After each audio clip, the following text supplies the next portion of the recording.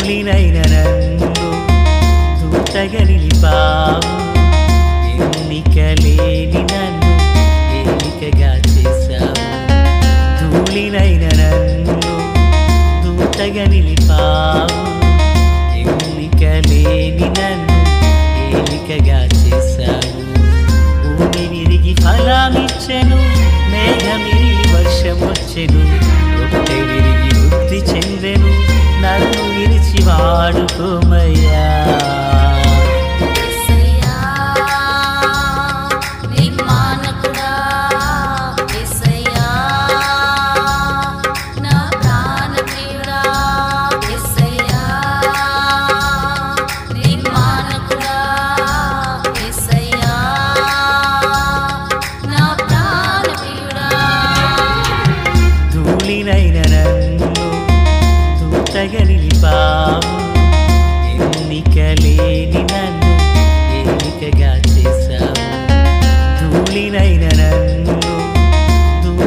నిలిపావు ఎన్నిక లేని నన్ను ఎన్నికగా చేశావు. ప్రభు అయినటువంటి యేసుక్రీస్తు వారి పరిశుద్ధమైన నామములో తండ్రి అయిన దేవాది దేవునికి నిత్యము స్తుతియు స్తోత్రములు మహిమయు ఘనతయు ప్రభావములు యుగయుగములు ప్రభునకే చెల్లునుగాక ఆత్మీయులారా బాగున్నారు కదూ? ఈ వాక్య భాగంలో ఈ దినాన మనము ఆదివారము గడిచిన వారమంతా ప్రభు మనలను కుటుంబాలను కాచి కాపాడినందులకు గాను కృతజ్ఞతతో ఈ దినాన దేవుని సన్నిధిని మనము నిలువవలసిన వారమునై ఉన్నాము. దయగలిగిన ఆయన ఆత్మచేత సమభూమి గల దేశమున ప్రభు మనలను నడిపించునుగాక. చదవవలసిన వాక్య పఠనము వినబోచిన వర్తమానాలు ఇవిగో మీకు ముందుగానే సిద్ధపరచబడి పంపించబడుతున్నాయి.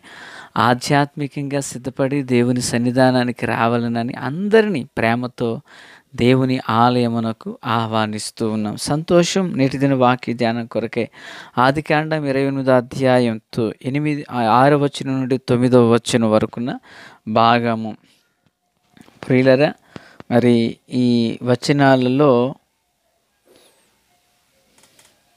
ఎనిమిదవ వచనం. ఇదియుగాక కనాను కుమార్తెలలో తన తండ్రి అయిన ఇసాకునకును ఇష్టురాడు కారని యాసావునకు తెలిసినప్పుడు యాసావు ఇస్మాయిల్ను వద్దకు వెళ్ళి తనకున్న భార్యలు గాక అబ్రహాము కుమారుడని ఇస్మాయిలు కుమార్తెయు నెబాయోతు సహోదరియునైన మహాలాతును కూడా పెండ్లి చేసుకున్నాను ప్రార్థన. తండ్రి దేవ స్తోత్రాలు. చదవబడిన వాక్యం మీది వినుచున్నవారు మీ వారు. అల్పుడనైన నేడలు మీ మహాకృపను కనుపరిచి మేలు చేత నింపి నడిపించమని. ఏసునామం అడుగుచున్నాము తండ్రి. ఆమెన్. ఆత్మీలారా బాగున్నారు కదూ? ఈ భాగంలో మరి అవిధేయుడైన యాసావును మనం చూస్తున్నాము. యాసావు ఇస్సాకు యొక్క జ్యేష్ఠ కుమారుడు. జ్యేష్ఠ కుమారుడు అంటే పేరుకే జ్యేష్ఠుడుగా మాత్రం పుట్టాడు తప్ప జ్యేష్ఠత్వాన్ని జ్యేష్ఠత్వాన్ని అమ్ముకుని జ్యేష్ఠత్వాన్ని కోల్పోయిన వ్యక్తి ఇతడు. అయితే మనకు గుర్తు ఉండడం కొరకు జ్యేష్ఠుడు అని మనం చెప్పుకుంటున్నాం. అయితే ఇతడు అవిధేయుడు అనే ముద్ర కూడా ఈయన మీద ఉన్నది. ఏంటంటే పిల్లర ఇస్సాకు కుమారుడైన యాకోబు తల్లి తండ్రి మాటకు లోబడి మరి పదనారానికి వెళ్ళిపోయాడని నిన్నటి దినాన విన్నాం కదా.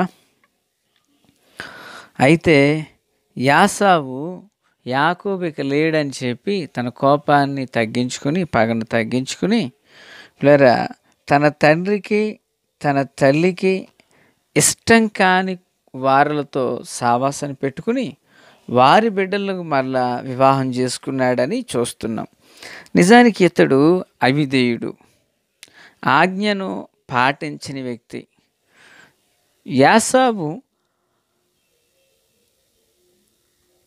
జ్యేష్ఠత్వం నమ్ముకోవడమే కాదు పిల్లరా తల్లి తండ్రికి నచ్చని పనులు చేస్తుంటాడు. తల్లిదండ్రులకు ఇష్టం లేని పనులు చేస్తుంటాడు. ఒకసారి గమనిందాం తల్లిదండ్రులకు ఇష్టం లేని పనులు పిల్లలు చేస్తే మరి ఈ పిల్లలు కూడా ఒకరోజు తల్లిదండ్రులు అవుతారు కదా. మరి అప్పుడు వారి పిల్లలు వారిని ఏం చేస్తారు? నేను సాధారణ చెప్తుంటాను కదా పట్ట పగటలు చొక్కులు చూపిస్తారని. ఆ పని జరుగుతుందేమో.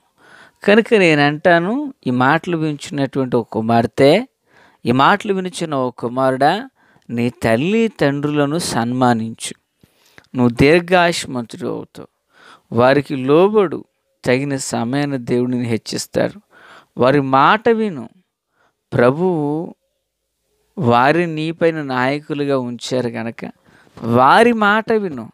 రేపటి దినాన నీ బిడ్డలు నీ మాట వింటారు. అంత మాత్రమే కాదు అంత మాత్రమే కాదు ప్రభు యొక్క కృప కొరకు ప్రార్థన చేయి. దేవునికి స్తోత్రం. అయితే ఇక్కడ యాసావు అవిధేయుడై ఉన్నాడు. యాకోబు ఊరు కాని ఊరికి వెళ్ళాడు దీవించబడ్డాడు. పన్నెండు మంది కుమారులు కుమార్తె నలుగురు భార్యలు నలభై సంవత్సరాల కాలంలో వివాహం. క్షమించండి యాకోబు యొక్క వయసు మనకు తెలియదు కానీ పిల్లరా ఈ యొక్క ఎవరు? యాసావు నలభై ఏండ్లకు పెళ్ళి చేసుకున్నాడు. పెళ్ళి చేసుకున్నాడు. సంతానం కలిగింది. యాకోబు వృద్ధి పొందినంతగా యాసావు వృద్ధి పొందలేకపోయాడు. కారణం ఏంటి? కష్టపడనోడా? అతడు గు అతడు విల్లు వేటగాడని అడవి బాగా సుపరిచితుడైన వ్యక్తి అని మనం విన్నాం కదా. తలాంతులు ఉన్నాయి సామగ్రి ఉన్నది మనుషులు ఉన్నారు ఏది ఉన్నా ప్రభువులో ఆ వ్యక్తి వృద్ధిలోకి రాలేకపోయాడు. నా మట్టుకు నేనుగా ఏం చెప్తానంటే యాసావులో ఎన్నెన్నో బలహీనతలు లోపాలు ఉండి ఉండవచ్చు. నేను వాటిని ఎంపసైజ్ చేయాలనుకుంటలేదు. ముఖ్యమైన విషయం ఏంటంటే తన తల్లికి తన తండ్రికి అవిధేయుడు. ఆ యొక్క అవిధేయత తనను వృద్ధి పొందకుండా చేస్తుంది. నా దేవుని బిడ్డ దేవుని బిడ్డలుగా మన జీవితంలో కూడా కొన్ని వితరకమైన సమస్యల మధ్యలో విశ్వాస జీవితాన్ని కొనసాగించడం కష్టతరంగానే ఉంటుంది. అయితే యాకోబు ఇరవై ఏండ్లు నవకర చేస్తూ బ్రతికి వృద్ధిలోకి వచ్చాడు దేవుని ఆశీర్వాదంతో. కానీ యాసావు అన్ని అవ వనరులు సదుపాయాలు ఉండి కూడా వృద్ధి పొందలేకపోయాడు. కారణం దేవుడు ద్వేషించాడనా? నేను దాని కొరకు చెప్పాలనుకుంటలేదు. ప్రియులారా ఇతర తల్లిదండ్రులకి లోబడని వ్యక్తి. తల్లిదండ్రులకే లోబడని వ్యక్తి దేవుని మాటకి ఎలా లోబడతాడు? తల్లిదండ్రుల మాటకి అవిధేయత చూపిన వ్యక్తి దేవుని యొక్క దర్శనానికి ఎలా విధేయుడు అవుతాడు కనుక నా దేవుని పిల్లరా దేవునికి మానవునికి మధ్య దేవునికి మనుషునికి మధ్యవర్తిగా సేవకుడు పనిచేస్తారు.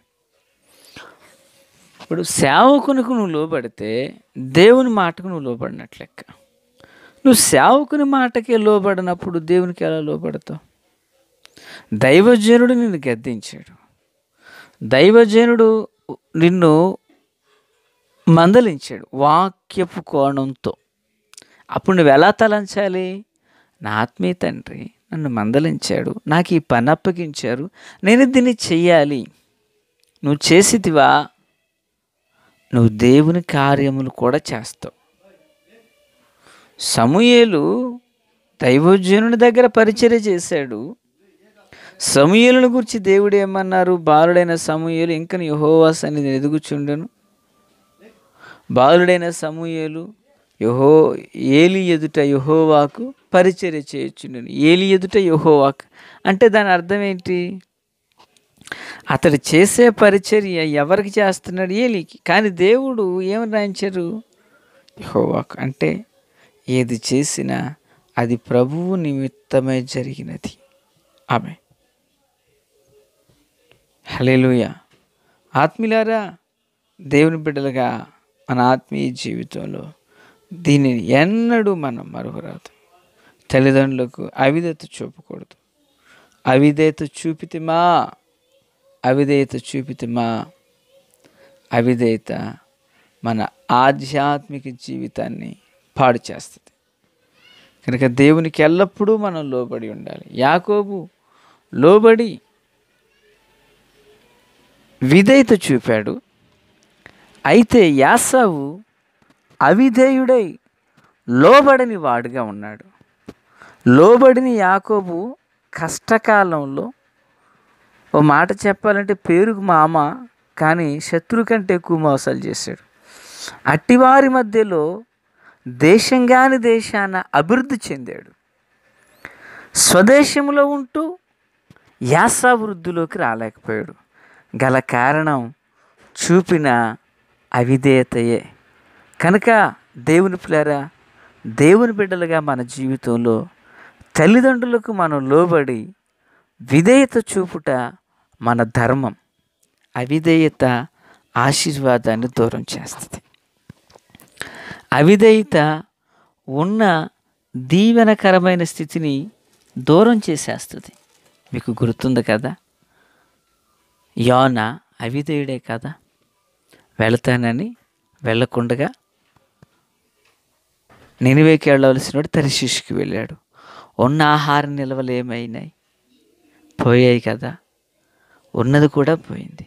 కనుక ఈ మాటలు వినిచినటువంటి యవన బిడ్డలారా ఒకవేళ దైవజనుడే నిన్ను మందలించిన ఒకవేళ నీ తల్లి నిన్ను మందలించిన నీ తండ్రి నిన్ను మందలించిన అది నా మేలు కొరకని తీసుకో. ఒకవేళ భర్తే భార్యను మందలించారు? కొన్నిసార్లు భార్య భర్తను మందలించడం అని కాదు. అయ్యా ఇలా చేద్దామని చెప్పారా? ఒకరికొకరు లోబడి ఒకరికొకరు లోబడి ఒకరి మాటను ఒకరు గౌరవించుకుంటూ ముందుకు వెళితే నిశ్చయముగా ఇదిగో ఓ యాకోబు మీద ఉన్న దీవెన ఇసాకు నుండి అబ్రహాము నుండి ఎలాగుండి ప్రవహించిందో మన పితరుల మీద ఉన్న దీవెనలు మన మీదకి దిగి వస్తాయి. ఆ కృపతో దేవుడు మనలను దీవించునుగాక. ఆమె తండ్రి దేవస్తోత్రం. వాక్యం అందరి హృదయాల్లో ఫలపరితం చేయండి. దినచర్యలో తోడై ఉండండి. అయ్యా మీ కృప కొరకు కనిపెట్టేవారుగా చేయండి. రహస్య రాకడ కొరకు సిద్ధం చేయండి. ఆమె ప్రైస్తలాట